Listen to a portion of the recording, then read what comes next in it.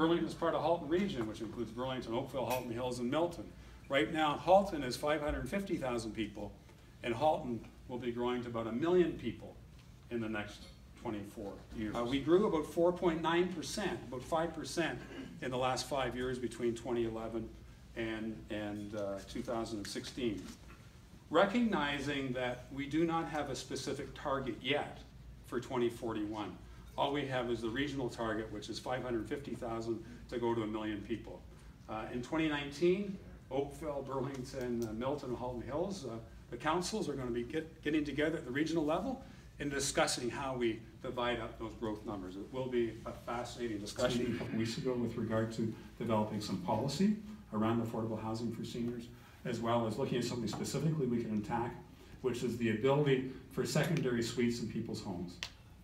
There is the ability right now in certain areas of the city where as long as you submit to the proper uh, requirements of the building code and you have separate entrances and so on and so forth, that you can actually rent out your basement, for example, uh, to a younger person or an older person. And there can be many benefits from income to the person who owns the home, as well as uh, some connectivity or some more affordable real estate for someone younger or older, and some social connectivity for maybe two older people. So that's something we, we really want to uh, look at our policy and see how we can improve the uptake in that as well. It's a big subject, and I haven't answered it completely, um, but we've got a lot to do. Um, we need to figure out a way that we can make it desirable for younger families to live in sort of non-traditional family housing. What I mean by that is some mid-rise development or some low-rise development, uh, development with, a, with a number of condos. We believe we can do that if we build the amenities in the area and, and connect with people and ask them what they need in order to satisfy their desire to raise their family in a more urban uh, situation. Um, that's an opportunity for us. No, ab absolutely. Um, you know, some of the buildings that are being constructed actually include some amenity space for the people that live there.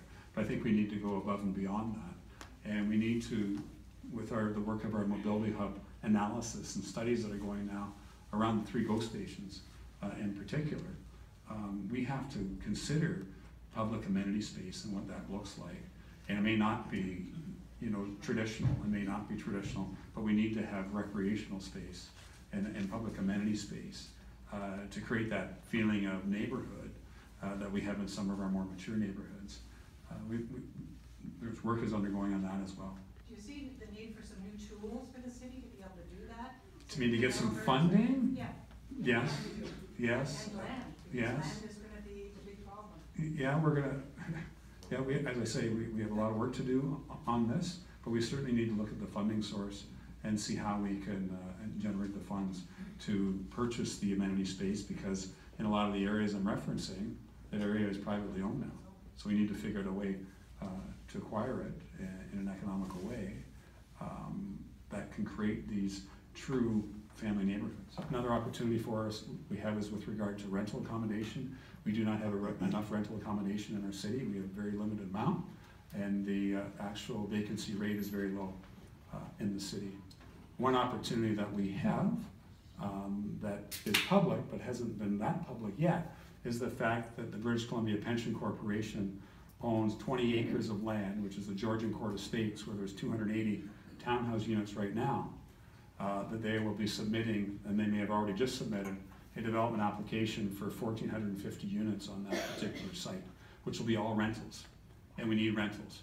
Not sure what, how that's going to end up, but we do need rental accommodation in a big way, and we've got to take advantage of opportunity when it comes our way. Compact, mixed-use, walkable communities where you have access to hardware stores and drugstores and pubs and cafes and beer stores and liquor stores and so on and so forth, right in immediate area of our GO stations. And if done right, if done right, the actual impact on the environment is much less than traditional suburban development because the greenhouse gas emissions from burning less energy because you, you you can walk or cycle places more as far as the goods and services you need, and transit right is right up your doorstep. Uh, the need for the traditional automobile uh, won't be there.